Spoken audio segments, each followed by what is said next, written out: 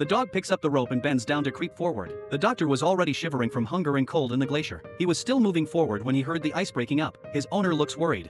The owner looks worried and keeps cheering behind him. Little by little, time passes. The doctor is almost frozen.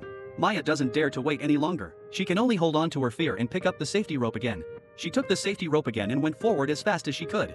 Finally, she reaches the doctor. He puts the rope on. Dr. carefully braced his left hand against the ice. Then he puts his right hand into the loop. After making the preparations, Maya returns to his master with confidence. He connects the other end of the rope to the dog.